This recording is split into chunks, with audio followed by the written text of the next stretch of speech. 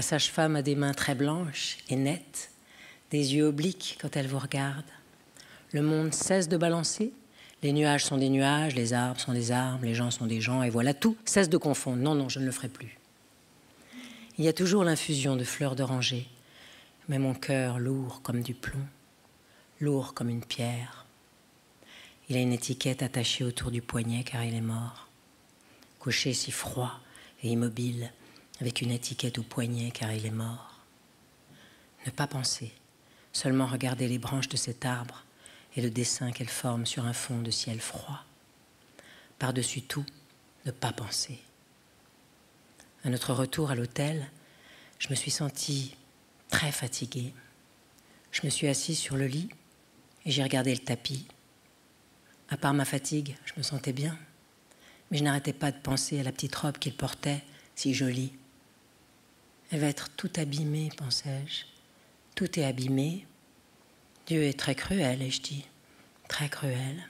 Un démon, évidemment. Ça explique tout. C'est la seule explication possible. Je sors, a dit Eno. Je ne peux pas rester enfermé ici, il faut que je sorte. Moi, je suis resté là, regardant le tapis rouge, sombre, sale, et voyant le mur sombre sous le chaud soleil. Un mur si chaud qu'il vous brûlait la main quand on le touchait, des fleurs jaunes et rouges, et le moment de la journée où tout se tait. Eh bien voilà.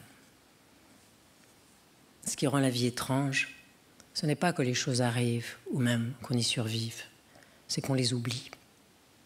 Même l'instant unique que vous avez cru être votre éternité s'efface, sombre dans l'oubli et meurt.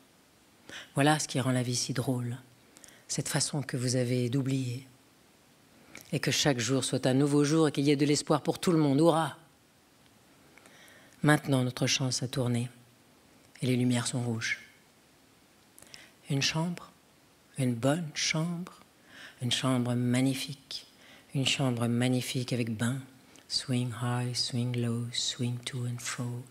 Il s'est passé ceci, ensuite il s'est passé cela, et puis sont venus les jours où j'étais seule. Je t'écrirai, dit-il, je tâcherai de t'envoyer de l'argent. Mais je savais que c'était fini. Depuis le début, j'avais su que ça arriverait un jour, que nous nous dirions adieu. Il s'est penché à la fenêtre du compartiment. J'ai levé la tête pour le regarder et je me suis demandé si c'était les larmes qui lui rendaient les yeux si brillants. Il n'était pas homme à pleurer facilement, et nous. Une fois le train parti, j'ai pris un café dans un bistrot près de la gare du Nord et j'ai regardé par la vitre le monde sombre et vaste. Ce n'est que pour un temps. Nous nous retrouverons quand les choses iront mieux, sachant au fond de moi que c'était fini. Ai-je aimé Eno pour finir? M'a-t-il jamais aimé? Je ne sais pas. Seulement c'est à partir de ce moment-là que j'ai commencé à m'effondrer. Pas d'un seul coup, non, évidemment. D'abord il s'est passé ceci, et après il s'est passé cela. Et après, que s'est-il passé? Ce qui s'est passé, c'est que sitôt que j'ai eu l'ombre d'une chance d'avoir un endroit où me cacher, je m'y suis glissé, terré. Eh bien, fait parfois beau, n'est-ce pas?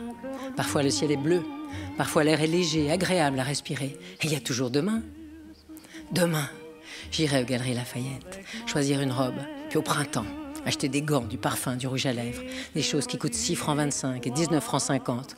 Acheter n'importe quoi de mon marché, la sensation d'acheter, voilà ce qui compte.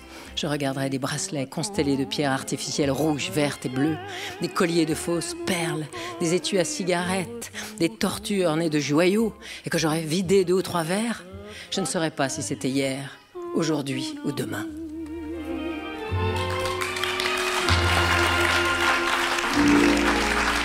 Dans la fumée, le vent pleureux, les roses s'effeuillent sans bruit, l'horloge en marquant les quarts d'heure